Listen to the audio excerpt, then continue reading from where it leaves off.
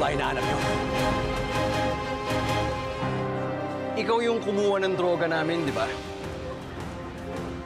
Ibig sabihin, ikaw din yung taong hinahanap namin? Hayop kayo. Pati pamilya ko, dinamay niyo.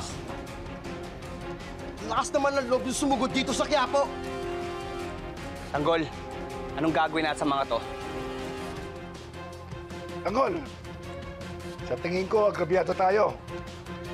Napakarami nila, oh. Ilan lang tayo? Buti, alam mo. Kaya mabuti pa, ibalik mo sa amin yung droga. At sumama ka sa amin para walang mangyaring gulo dito. Hindi na mangyayari yun. Sinaktan niyo na yung pamilya ko.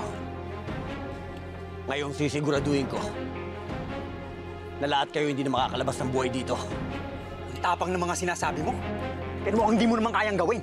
Nagkakamali kayo. Hindi nyo kilala kung sino ang binabangga nyo. Hindi niyo rin alam kung anong lugar ang pinasok niyo.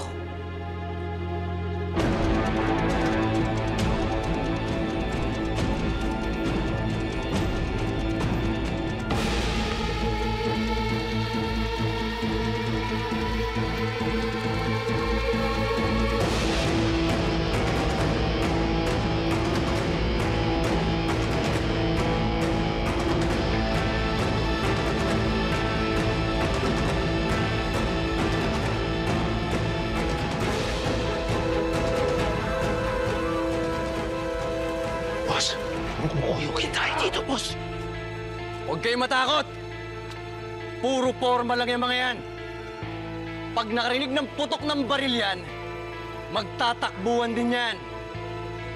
Eh di subukan